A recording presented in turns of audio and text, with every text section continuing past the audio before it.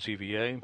Guys, you can start opening your cuff checklist to page seven. We are in a terminate case, and we're gathering words for Tim Peake and where we'll leave you there.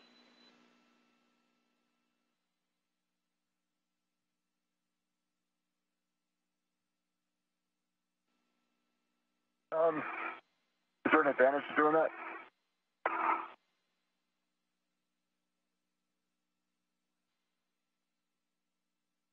I am locked black on black on the uh, dimming extender. Okay, that's a good config.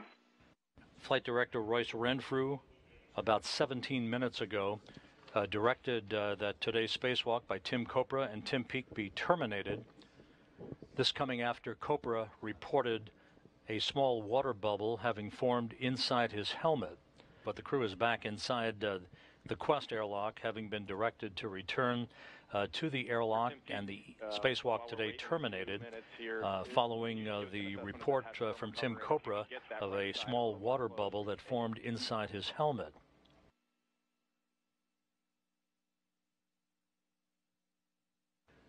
Back uh, with uh, downlink video from the Quest airlock, uh, you see uh, Scott Kelly as uh, he is uh, using a syringe Uh, to collect uh, whatever moisture or water had uh, may have been collected inside Tim Kopra's suit. You see